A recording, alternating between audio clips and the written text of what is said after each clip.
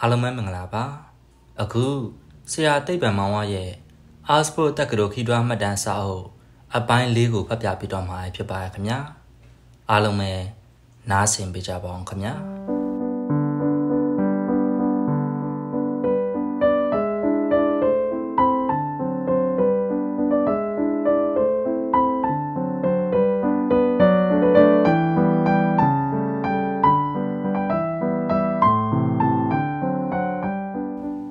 န်းနှစ်လန်ဒန်မြို့1289ခုနှစ်တော်သလင်းလာဆုပ်73ရက်နေ့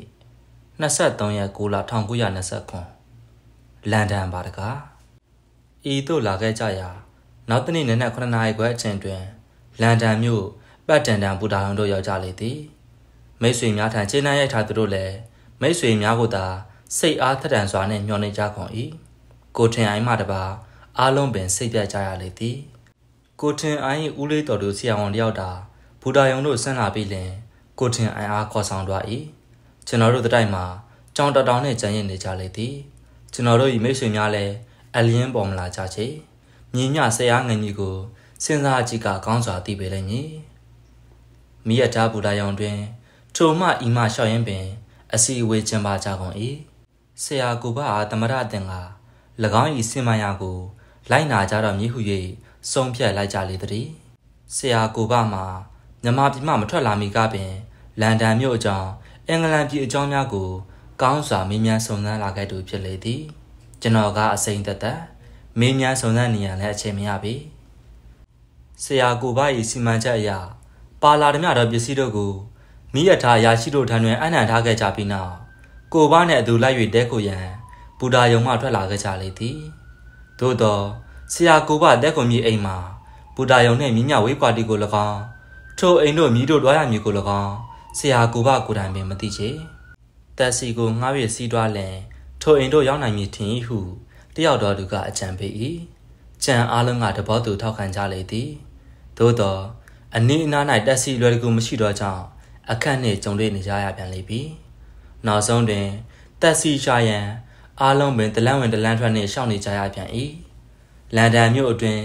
ညီတိနေရာသို့ရောက်နေကြသည်ဟု၍တွေးတော့မရနိုင်အောင်ဖြစ်နေကြလေသည်မြန်မာတစုံတစ်ယောက်နှင့်တွေ့ဆုံရမူကားမြည်မျှကောင်းပေလိမ့်မည်နည်းဟုတွေးတော်မိ၏ဆရာဥပဇော်မှာမြန်မာလိုဝလျက်ပင်ရှိသေးတော့ကြောင့်သူ့ကိုမြင်ကြသောအင်္ဂလိပ်အချို့မှာစိုက်ကြည့်ကြပြီးလင်ပြုံးတလူလိုလှုပ်ရည်သွားကြသေး၏ညီသူခံခြင်းအံ့နီတက်စီကိုရှာရင်တလန်းဝင်တလန်းထွက်လုံနေကြတော့တွင်ညကညစာမစားလာရတော့ကြောင့် စာသူကစာနနက်လက်ဖက်ရည်မတော့ရလင်မနေနိုင်သူတို့ကလည်းရှိလျကလက်ဖက်ရည်ဆန်ကိုရှာကြရပြန်လေသည်ဇောလွန်လာတော့ကြောင့်ဆိုင်ကြီးညောင်ဖွင့်ကြသည်လမ်းတောင်တောင်တွင်ဆိုင်လေးတစ်ဆိုင်ကိုတွေ့ရဝင်ကြပြန်မှလဲ၎င်းဆိုင်တွင် ကလတ်ထိုင်လေးလုံးသာရှိ၏ကျွန်တော်တို့လူစုကရှစ်ယောက်နေနေပင်အတို့လင်ထိုင်ရပါအနီအချို့ကထိုင်အချို့ကရက်ကလက်ဖက်ရည်တောက်ကြရလေသည်လက်ဖက်ရည်တောက်ကြပြီးလင် ဝမ်းတော်တော်လေးတောင်းလာပြီးဖြစ်တော့ကြောင့်စိတ်ညစ်ခြင်းအနှဲငယ်ပျောက်သလိုလိုဖြစ်သွား၏သို့သောကြီးကျယ်လာသောမျိုးကြီးအတွင်ရောင်လဲလဲနေရလင်မြေသူသည်စိတ်မပြတ်အားမငယ်ပဲနေပါအံ့နီလက်ဖက်ရည်ဖို့ပတ်စံပေးချပြီးနောက်တက်စီရနိုင်သည့်နေရာတနေရာကိုဆိုင်ရှင်အားမေးကြ၏ရှေ့သုံးလန်းညာဘက်ချိုနောက်ဘဲဘက်တွာတဖန်ညာဘက်ချိုစသောလမ်းညွန်သည့်မျိုးတိုင်းတက်စီကိုရှာကြလေသည်တက်စီနှစ်စီးကိုငှားက ဆရာကိုကပြီးတော့လိပ်စာအတိုင်းတွားကြ၏တက်စီများမှာခက်မြန်မြန်ဆိုင်းကြတော့လဲကျွန်တော်တို့တွားလို့ရအိမ်တို့တော်တော်နဲ့မရောက်နိုင်လန်ဒန်မြို့ကြီးကအဆုံးအစမှရှိပါ၏လောဟုတ်ပင် တွေးတော့ကျွန်တော်စိတ်များပေါ်ပေါက်၍လာလေသည်လမ်းတစ်လျှောက်လုံးတွင်နှစ်ထပ်မော်တော်ဘတ်များကိုပိုင်မော်တော်ကားများကုန်တင်မြဲထားကြီးတက်စီများနဲ့ရှုပ်ထွေးနေသည်ကိုမြင်ရလေသည်တိုက်ကြီးတာကြီးများဥယျင်ကလေးများကိုလည်း တလျှောက်လုံးမြင်၍တွားလေသည်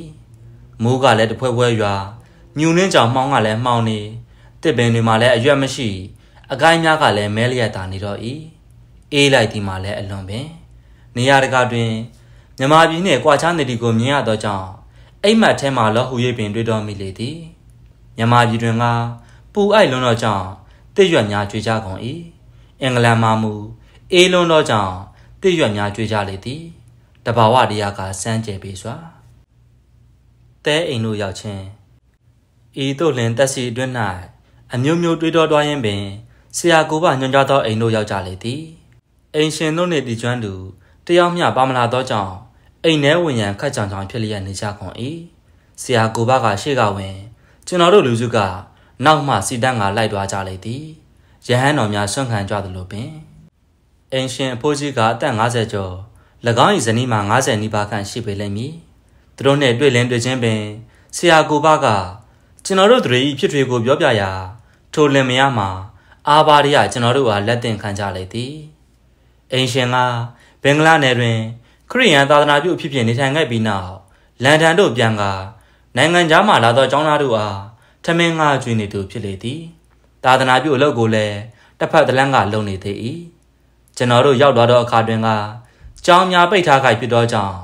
အခန်းများမှာအားလက်ခွင့်ရနေကြလေသည်အင်ရှင်မှာလည်းအခန့်တင်ကျွန်တော်တို့မှာလည်းအခန့်တင်မင်ကျွန်တော်တို့ကနတ်စာကျွေးပြီးလင်အခန်းများကိုနေရာချပေးလေသည်ကျွန်တော်တို့တွေမှာစိတ်ကလည်းပြက်ယာရီဥဒုကလည်းအိလာတီဖြစ်သောကြောင့်အိယာတဲ့ဝင်ကကွေးလိုက်ကြသည်မှာ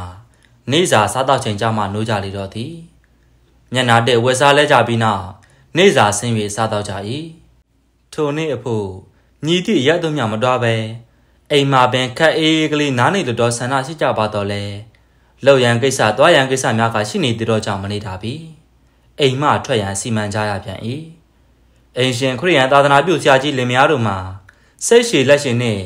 ကျွန်တော်တို့တွားရမည့်နေရာများကိုလမ်းညွှန်ရှာ၏သို့သောအလွန်စီကားချစ်ကျက်သောလန်ဒန်မြို့ထဲတွင်အတုလင်အဖော်လမ်းကြမပါပဲတွား၍နေရာတကျဖြစ်နိုင်ပါအနီညီ ရဲမိရထားအခန့်တင့်ပင်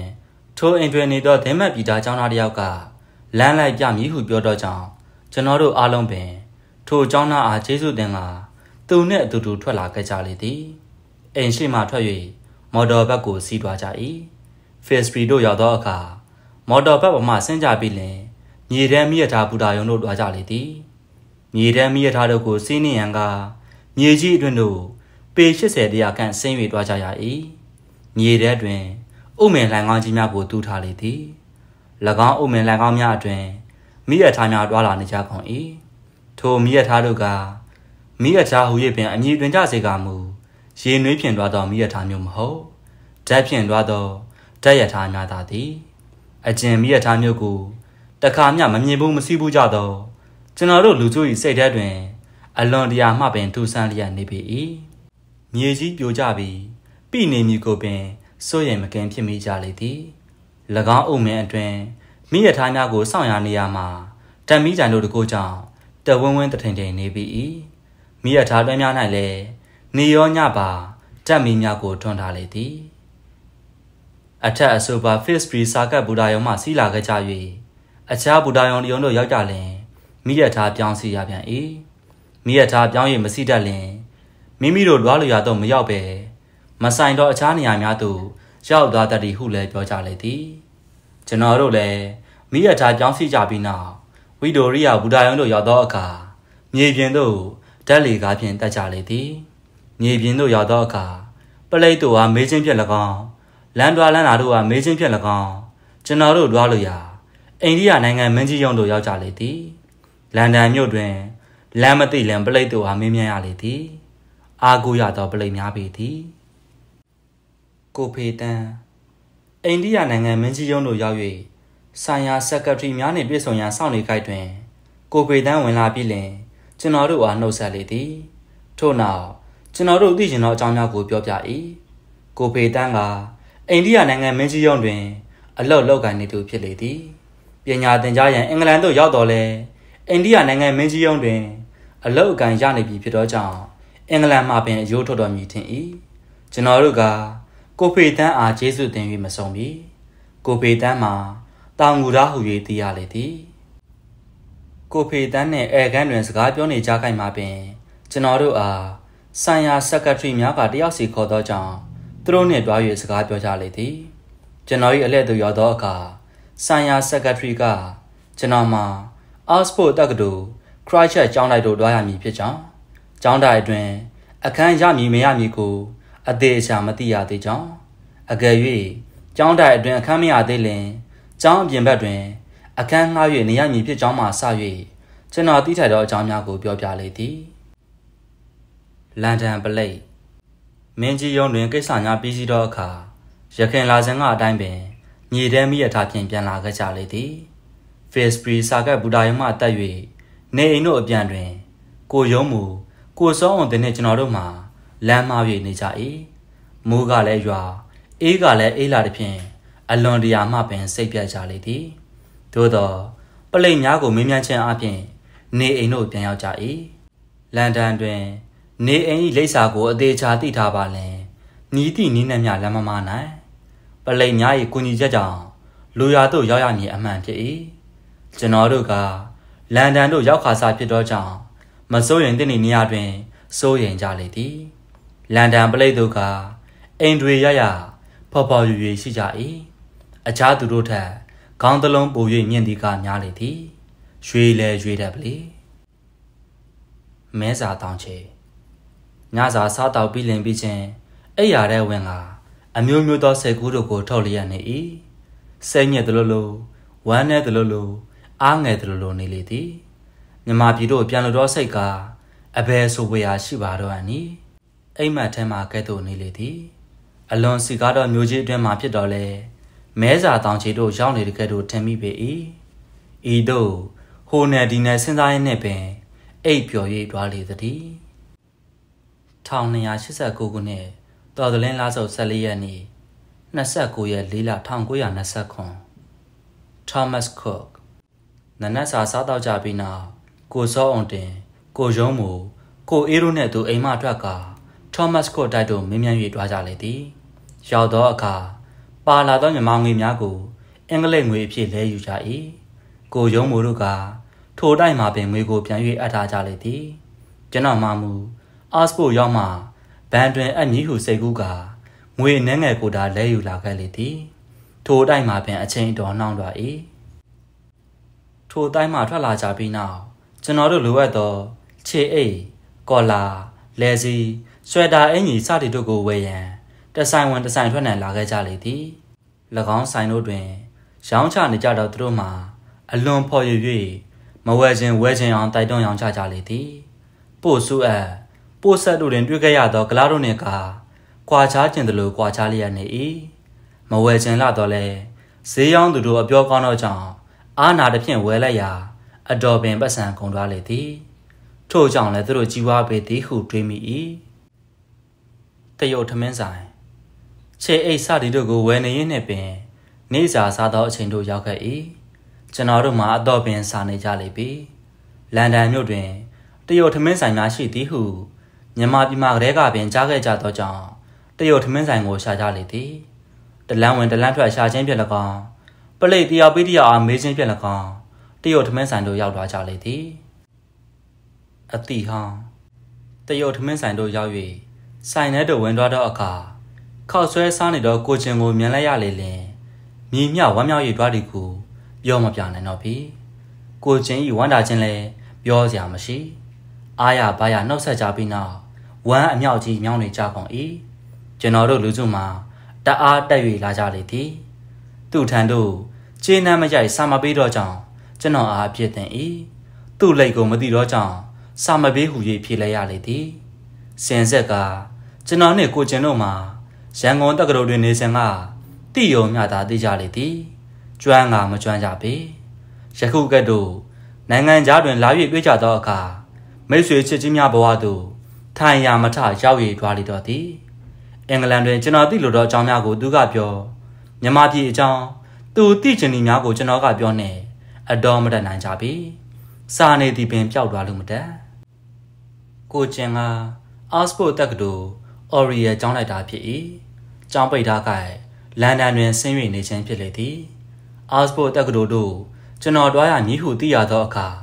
ကိုကျင်မှများစွာဝမ်းမြောက်၍နေ၏ကိုရွှေပေါ်လဲအော့စဖို့တက္ကသိုလ်ဝက်တန်ကျောင်းလိုက်တွင်ဝင်ခွင့်ရသည်ဟုကိုကျင်ကပြောပြသည်ဖြင့်သိရလေသည် အော့စဖို့တက္ကသိုလ်နှင့်ပတ်သက်၍မိသမားတို့ကိုလည်းစိတ်ရှိစွာပြောပြရှာပေသည်နေစာစားတော့ကြပြီးနောက်ကိုကျင်နှင့်အတူပင် သူနေထိုင်သောအခန်းသို့လိုက်၍တွားကြလေသည်ကိုရွှေဘောနှင့်လည်းထိုအခန်းမှာပင်တွေ့ရ၏ကိုရွှေဘော်နှင့်အားရဝန်သာနှုတ်ဆက်ကြစကားပြောကြနှင့်နေလေသည်အတော်ပင်ပျော်ရွှင်အားသက်လာကြပြီလင်ရခင်ကစိတ်ပြတ်နေခြင်းတို့မှာပျောက်ကွယ်သွားကြကုန်၏မြမပြည်မှာတော့က တကြောင်နဲ့တွင်ပညာတင်ကြလာခဲ့ဘူးကြတော့လေတယောက်နဲ့တယောက်များစွာခင်ခင်မမဲမရှိခဲ့ကြချေတို့ရာတွင် နိုင်ငံခြား၌လာ၍တွေ့ကြသောအခါမူကားထူးထူးခြားခြားခင်မင်၍တွားကြသည်မှာဓမ္မတာပင်ဖြစ်သောသည်ဟုတွေးမိလေသည်မြမပြည်အသင်းကိုကျင်နေထိုင်ရာအိမ်ကပြည်တိတ်ရှာပြတာကြီးနဲ့မဝေးလာပေ၎င်းအိမ်မှနေ၍ကြည့်လိုက်လင်ပြည်တိတ်ရှာပြတာကြီးကို အတိုင်းသားမြင်နေရလေသည် ကိုကျင်၏အခန်းတွင် အတော်ကြောင်အောင်စကားပြောချပြီးနောက်ကိုကျင်နှင့်အတူဟမ်မတ်စ်နှင့်ခေါ်တော့ရက်တွင်တည်ရှိသည့်မြမပြည်အသင်းတိုက်တို့ထွက်ခဲ့ကြလေသည်ကိုကျင်တို့နေထိုင်ရာ Russell Square ရက်မှမြေတမ်းမိရထားကိုစီး၍လာခဲ့ကြရာများမကြမီမြမပြည်အသင်းတိုက်တို့ရောက်ကြကုန်၏မြမအကြောင်းသားတွေဘီလီယထိုးနေကြသည်ကိုရှေးဥစွာတွေ့မြင်ရလေသည်သူတို့အထက်တွင် ကျွန်တော်တို့မသိသူကအများ တိတူကတယောက်နှစ်ယောက်သာရှိပေလိမ့်မည်သို့တော့တိတူတယောက်နှစ်ယောက်တို့ကမိတ်ဖွဲ့ပေးလိုက်တော့ကြောင်းအားလုံးနဲ့ပင်အတိဖြစ်၍တွားလိုက်သည်အတီဟောင်းဖြစ်ကြကုန်တော့ကိုတက်စု ကိုဘကျော်တို့နဲ့တွေ့ရတဲ့ဖြင့်အားတက်ဝမ်းမြောက်စွာနှုတ်ဆက်စကားပြောကြကာတက်တော်တော်နဲ့နေကြလေတော့သည်ကိုတက်စုကသူ့ထံကျင်းနှမ်းမရိုက်တော့ကြောင်းအပြစ်ဆိုပြန်၏ကိုကျင်ကိုပြောတကက်တို့ပင်လိမ့်မတိတော့ကြောင်းကျင်းနှမ်းမရိုက်ရဟုပြောလိုက်မှကျင်းနှက်သွားလေသည် စင်ဆက်ကကိုတက်စုအင်္ဂလန်တွင်ရှိနေသည်ကိုပင်သတိမရချေမိတ်ဆွေဟောင်းမောင်လာကျော်အကြောင်းကိုမေးရာအိုင်ယာလန်ကျွန်းဒဗလင်မြို့တွင်ပညာသင်ကြားနေသည်ဟုသိရ၏မြန်မာထမင်းမြန်မာဟင်းဤသို့စကားပြောနေသည့်အတွင်9နာရီထို့တစ်ဖြင့်ထမင်းစားကန်းတို့တွားကြပြီလင်ထမင်းစားကြလေသည်ထိုထမင်းစားကန်း၌ပျော်ပျော်ပါပါထမင်းစားကြသူမြန်မာတို့က20ခန့်ရှိပေလိမ့်မည် မြန်မာထမင်းမြန်မာဟင်းများကိုစားတော့ရတော့ကြောင်းကျွန်တော်တို့လူစုမှာအထူးကျဉ်းကြကုန်၏မြန်မာပြည်မှထွက်လာကြတဲ့ကမြန်မာထမင်းမြန်မာဟင်းတို့ကိုစားတော့ကြရသည်မှာဤအချိန်ပထမအချိန်ဖြစ်လေသည်ထမင်းစားတော့နေသူတို့အထက်တွင်ဆူဆူပူပူလုံနေသူများလည်းရှိခက်အေးအေးအိမ်တွေရရစားတော့နေသူတို့ကလည်းမရှာညင်းကြထုတ်နေသူတို့ကလည်းအများခွေးပွဲသွားရန်တိုင်ပင်နေသူတို့ကလည်းတစ်မျိုးရုပ်ရှင်ကြည့်ရန်ထွက်မိသူတို့ကလည်းတခြားနဲ့ ထင်ရစကားကိုပြောကြားနေသည်မှာမြမပြည်ကဲ့သို့ဖြစ်၏မိမိတို့အင်္ဂလန်ပြည်သို့ရောက်နေကြပါလားဟုသောစိတ်မှာပျောက်ကွယ်သွားပြီလင်မြမပြည်ရှိအိမ်တဲအိမ်ဒုမဟုတ်အသင်းတိုင်းတရိုက်တို့ရောက်နေကြသည်ဟု၍သာထင်မှတ်ရလေသည်ရခင်ကစိတ်ငယ်စိတ်ပြတ်နေသည်တို့မှာပျောက်ရည်သွားကြပြီးနောက်ပျော်ရွှင်အားသက်နေကြကုန်၏ဂျော်လီကျွေရန်ကုန်တက္ကသိုလ်ကိုတပိတ်မှောက်ကြစဉ်ကနာမည်ရခဲ့သောဂျော်လီကျွေခေါ် ကိုဘိုးကျွေလည်း၎င်းထမင်းစားကန်းတဲ့သို့ရောက်နေလေသည်ရှေးခါကကဲ့သို့ပင်ပျော်ရွှင်သောရှိသေး၏သူစကားပြောလိုက်လင်တတ်တော်တော်နှင့်နေကြလေသည်အငြင်းမပြတ်တပြောမျိုးတရွှင်ရွှင်နှင့်နေတို့သည်စိတ်အိုက်နေသူများပူဆွေးနေသူများဂျော်လီကျွေးနဲ့စကားပြောလိုက်ရလင်မုတ်ချပျော်ရွှင်လာရပေလိမ့်မည်ဂျော်လီကျွေး၌စိတ်ညစ်ခြင်းပူဆွေးခြင်းစိတ်များရှိပါလေစားဟုတွေးတော်မိလေသည်ရန်ကုန်တက္ကသိုလ်ကိုတပိတ်မောက်က ဗဟန်းရက်တွင်နေကြကကောလိပ်ကျောင်းကဂျော်လီမောင်ပတ်စံမရှိလို့ရွှေသွားပေါင်အစချီတော့တချင်းလေးကိုဆိုကကတိများကိုလည်းမြင်ရောင်နေမိတော့၏ဥပိုးလူကြီးဤတို့ဆူဆူညံညံထမင်းစားရနေကြခိုင်ပေါက်၍လာတော့သူကဥပိုးလူကြီးဖြစ်လေသည်အယံမြင့်မြင့်အသားညွညွခတ်တည်တည်၎င်းနှင့်အတူခွေးကြီးတကောင်လည်းပါလာ၏ဥပိုးလူကြီးဝင်လာတဲ့တပြိုင်နက် ဟိုလူကထမင်းစားခေါ်ဒီလူကထမင်းစားခေါ်နှင့်စုံညံ၍နေလေသည်ကျွန်တော်၏အနားတွင်ထိုင်၍ထမင်းစားနေသောကိုတက်စုကဥပိုးလူကြီးဤရာဇဝင်အထုပ်ပတ်တွေကို ရှင်းလင်း၍ပြသသည်မှာဤတို့သည်ဥပိုးလူကြီးမှာမအူပင်သားဖြစ်၏အင်္ဂလန်တွင်ဝတ်လုံပညာကိုလာရောက်သင်ကြားသည်မှာနှစ်ပေါင်းအတော်ပင်ကြာလေပြီထိုအခါတွင်ကဝတ်လုံပညာကိုလည်းမသင်မြမပြည်တို့လည်းမပြန်အင်္ဂလိပ်ယာရီဥဒု အင်္ဂလိပ်အလေးထားများကိုနှစ်သက်သောကြောင့်အင်္ဂလန်မှာပင်တသက်လုံးနေထိုင်ရန်ဆုံးဖြတ်ထားဟန်သူလေသည်မြန်မာကျောင်းသားတို့ဟာလွန်စွာဆောက်ရှောက်လေးရှိ၏ကျောင်းသားများကလည်းဥပိုးလူကြီးကိုများစွာချစ်ကြောက်ရိုသေကြလေသည်ညီတိနေရာမှာမဆိုသူ့ထံတွား၍တိုင်ပင်လေးရှိကြကုန်၏အချုပ်အားဖြင့်ဆိုလင်ဥပိုးလူကြီးမှာ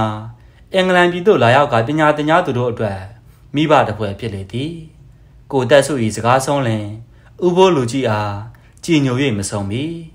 သူ၏အသက်က90ကျော်ပြီဟုခံမှန်းရ၏စာကျွင်း